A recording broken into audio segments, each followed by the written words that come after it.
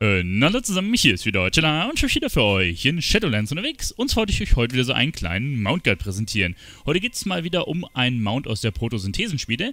Und zwar haben wir hier den Bronzeflügel Vespiden. Und dieses Mount ähm, sieht auf jeden Fall recht schick aus. Wir können uns auch gleich einmal das Mount Special anschauen. Machen wir das mal so. Seht ihr das? Da flitzt es wie wild rum. Es gibt übrigens auch noch einige andere Vespiden, die wir uns bauen können. Da werde ich euch dementsprechend dann auch nochmal Videos zu aufnehmen. Jetzt würde ich sagen, schauen wir erstmal rein, welche Schritte wir erledigen müssen, um das Mount craften zu können. Als allererstes müsst ihr dann erstmal die Protosynthesenschmiede freischalten, um dementsprechend die Mounts craften zu können. Wie schalten wir diese Protosynthesenschmiede frei? Einmal kann ich es euch kurz zeigen auf der Karte. Wir sind auf den Koordinaten 70, 28. Da befindet sich diese Protosynthesenschmiede, aber erst, wenn ihr eine Vorquest bewältigt habt. Diese Vorquest kriegt ihr erst dann, wenn ihr quasi einmal euren Fortschritt hier in der Zonenkampagne auf Minimum 3 von 7 habt, dann habt ihr nämlich hier in der Höhle des Verbanden eine Konsole freigeschalten und diese Konsole befindet sich hier gerade hinter mir und die schimpft sich einfach Chiffrenkonsole. Bei der Chiffrenkonsole müssen wir dann folgendes skillen, und zwar Verständnis des Sopranesischen.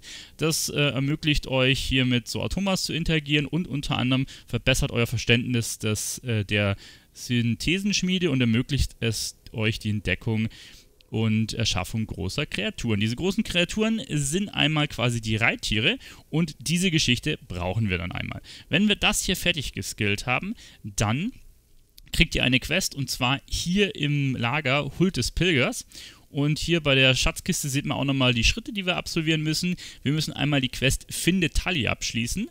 Das sind etwa so 10 Quests, die dann hier in dem Elite-Bereich spielen. Sobald wir das gemacht haben, ähm, sind wir für den ersten Tag so mal weit mal fertig. Und sobald ähm, dann ein Tag vergangen ist, bekommen wir eine zweite Quest, und zwar die verlorenen Komponenten.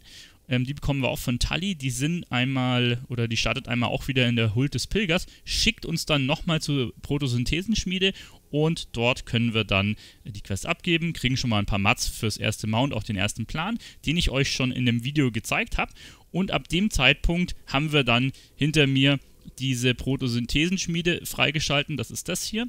Und dann, ähm, ja, habt ihr erstmal nur einen Plan und dann sollten wir als nächstes lostigern und die anderen Pläne holen. Und fürs Mount, ähm, ja, habe ich euch schon mal den Plan rausgesucht, wie wir den bekommen und da schauen wir jetzt mal rein. Dann kommen wir zum Plan Bronzeflügel Vespid und das befindet sich jetzt hier auf den Koordinaten 50, 31. Da waren wir schon mal für einen anderen Plan drin. Ich habe bloß vercheckt, dass hier noch einer in der Höhle ist. Und da müssen wir einfach in die Höhle reinlaufen und können den einfach, ähm, ja, in so einem kleinen Kasten, würde ich jetzt mal das betiteln, rauslooten. Sieht man relativ schlecht, muss man fast wissen, dass das da drin liegt. Also, müssen halt hier rechts hoch und dann seht ihr, hier drin ist dann einfach das Rezept drin. Ja? Also, mehr ist es nicht. Wenn wir jetzt hier die Map aufmachen, also ihr kommt hier rein, lauft hier hoch und dann haben wir hier das Ding drin. In der Minimap ist es halt auf 48, 39. Nochmal die große, also quasi da ist dann der Eingang rein und dann könnt ihr dementsprechend das Teil hier rauslooten. Sobald wir uns dann den Plan besorgt haben, können wir einmal den Bronzeflügel Vespiden bauen und dafür brauchen wir folgende Materialien. 350 Genesis-Partikel, dann brauchen wir einen unlegierten Bronzebarren, und dann brauchen wir noch ein Vespidengitter. Und ja, sobald wir die Materialien haben, können wir den einmal craften. Ich würde sagen, ich zeige euch jetzt erstmal, wo ihr die Materialien herbekommt. Dann kommen wir zum ersten Item und zwar den Genesis-Partikeln. Diese Partikel könnt ihr in der kompletten Zone von nahezu allen Mobs looten. Sprich, wenn ihr nebenbei euch die anderen Materialien farmt, beziehungsweise ihr hier am Questen seid, kriegt ihr die sowieso nebenbei. Ihr könnt es aber auch speziell forcieren und an einem Spot farmen. Ich habe hier meine 18.000 schon zusammengefarmt. Ein bisschen mehr als 18k braucht man nämlich, um alle Mounts und Pads einmal craften zu können. Wo befinden wir uns genau? Wir sind hier auf den Koordinaten 42, 73 und hier in diesem Bereich gibt es Verschlingermobs. Diese Verschlingermobs ähm, haben den Vorteil, dass sie aus so Portalen spawnen und die spawnen irre schnell nach. Heißt, man kann die hier mit einer Gruppe eigentlich durchgehend umboxen und halt da am effizientesten tatsächlich dieses Zeug farmen.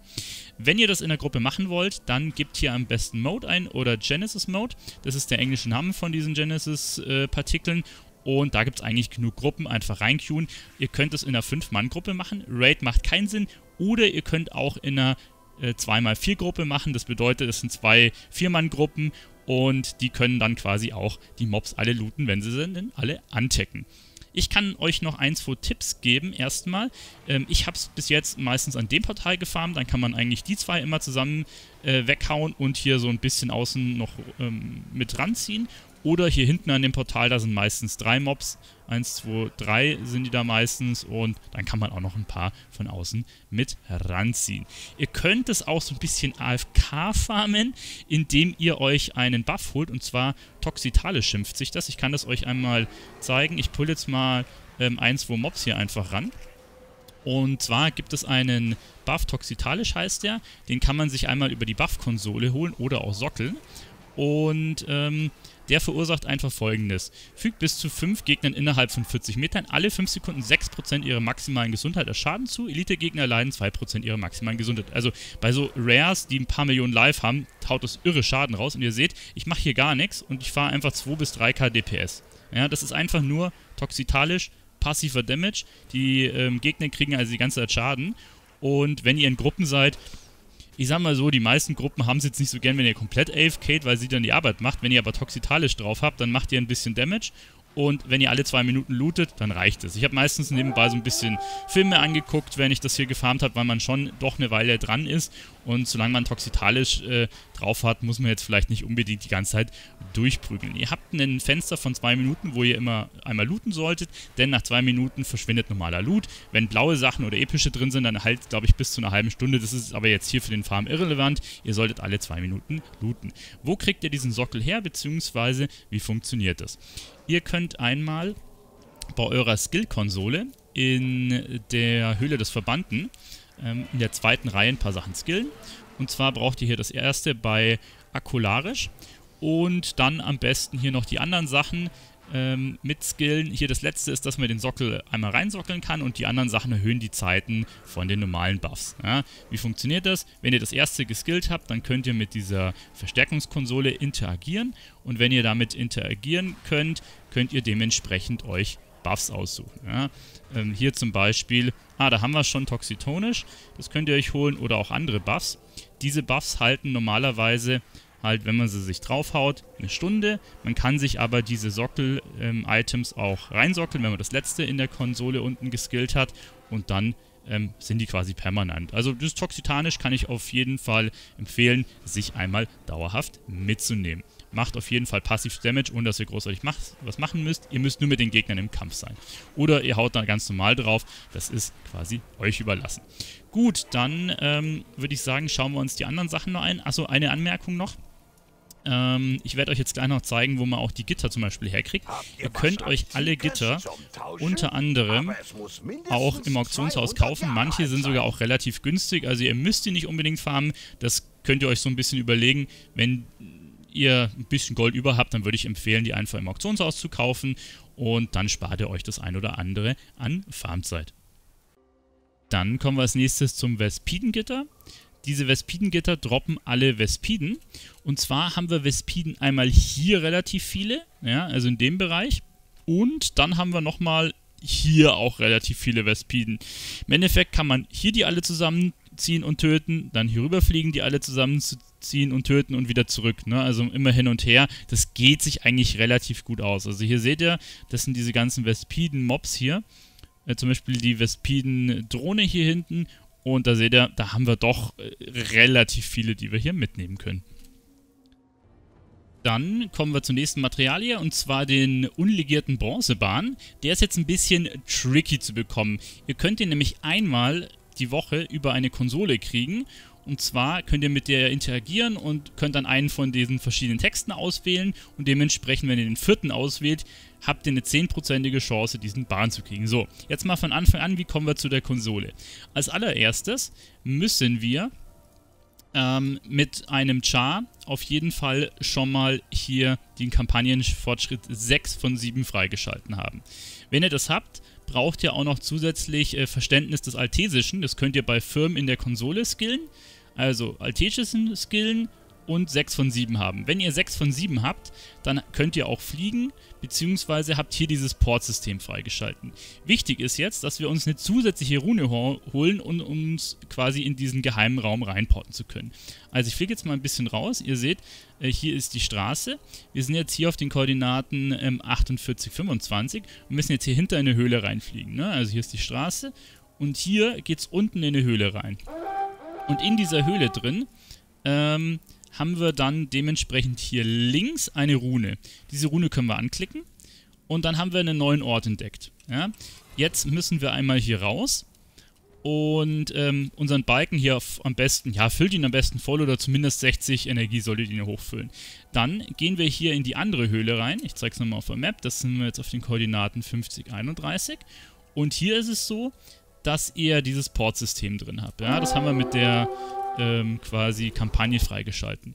Jetzt porten wir uns in diesen mittleren Raum rein, also hier einfach links, äh, internen Locus-Gedönse.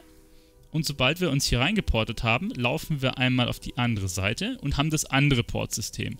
Und zwar seht ihr, hier haben wir jetzt andere Räume. Ich habe jetzt hier schon vier freigeschalten, fünf gibt es insgesamt. Die braucht man unter anderem noch für einen Pet-Mount-Plan und für andere Schätze Gedönse. Ähm, wir wollen uns jetzt aber hier in den mittleren Porten, den wir eben freigeschalten haben, bereichernde Alkoven heißt das. Da porten wir uns jetzt rein. Da brauchen wir nämlich nochmal ein bisschen Energie, deswegen 60 sollte der Minimum haben. Und dann sind wir hier, wo die Konsole ist. Jetzt klicken wir die Konsole an, klicken auf das vierte und ich kriege nochmal einen Barren raus. Äh, ich weiß nicht, ob Blizzard das gebufft hat es hieß eigentlich, auf WoW hätte das hat eine 10%ige Drop-Chance, man braucht auch nur zwei Barren. Heißt, wenn, dann war ich jetzt ein richtiger Lacker oder die haben die Prozentchance hochgesetzt. Ähm, die Geschichte ist, die anderen Sachen könnt ihr jetzt nicht mehr drücken. Ne? Ihr könnt immer nur eins pro Woche auswählen und dann müsst ihr eine Woche warten. Wenn ihr jetzt nicht so ein krasses Lack gehabt habt wie ich und dementsprechend nur einen Barren oder gar keinen rausgekriegt habt, dann äh, müsst ihr halt ein paar Wochen warten, bis ihr dann dementsprechend alle zusammen habt und dann könnt ihr eure Mounts bauen. Insgesamt braucht ihr für zwei Mounts das Ganze, also wenn ihr zwei habt, dann seid ihr aus dem Schneider. Sobald ihr euch dann den Plan gefarmt habt, beziehungsweise auch alle Mats besorgt habt, könnt ihr dann einfach hinter mir bei dem Kollegen hier das Mount erstellen. Da gibt es natürlich nicht nur ein Mount, sondern es sind insgesamt 24 Stück. Dazu habe ich auch schon ein komplettes Video gemacht, wo es dementsprechend jeden einzelnen Plan gibt, in einem quasi gesammelten Video. Dann habe ich ein Video erstellt, wo man alle diese Sondermaterialien für die Mounts herbekommt.